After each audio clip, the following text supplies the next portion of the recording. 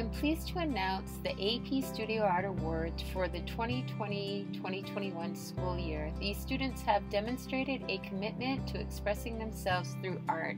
Anthony Guerrero, Helen Zhang, Juliana Castillo, Jude Magnus,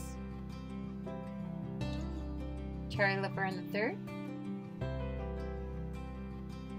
Kelvin Maja De Paz, Jamie Shea Butler, Maria James, Jose Arce Nares,